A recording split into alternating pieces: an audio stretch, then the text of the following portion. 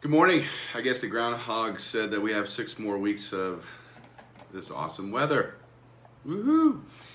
Um, happy Groundhog Day, I guess today is. So, hey, I just want to give you guys a quick tip here with uh, with VA loans. Um, yes, you can have two VA loans at the same time. Here's how it works. And I'll just give you a very general. There's more details that go into it. But let's say you're a veteran, you own a house right now, and decide to, to not sell that house before you buy another house, okay? You can get a VA loan on that next house if it makes sense. And what we do is, is we pull your COE, your certificate of eligibility. And by pulling that, uh, then we run some numbers to see what your calculations can be so you can finance up to 100%.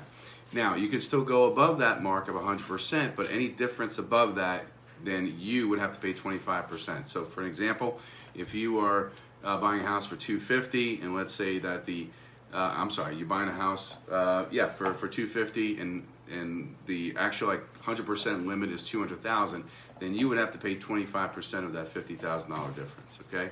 But you can do it. You can have two VA loans at the same time. Most people don't realize that. They think they have to definitely sell before that. The first thing, you know, that has to happen is, is you know, obviously, to, you know, taking the application. The second thing is to pull the COE so we can run the numbers to see what you can qualify for with a you know up to 100% and once again you know anything above that will be 25% coming out of your pocket. Okay so hopefully that helps you.